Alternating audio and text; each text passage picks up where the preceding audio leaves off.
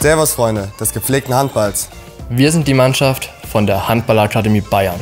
Wir haben uns für die A-Jugend-Bundesliga-Saison 2018-2019 qualifiziert.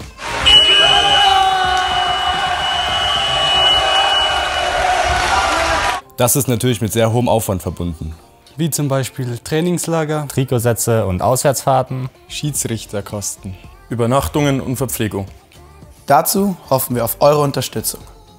Begleite uns auf unserem Weg in der Jugendbundesliga. Fördere uns jetzt auf Camon.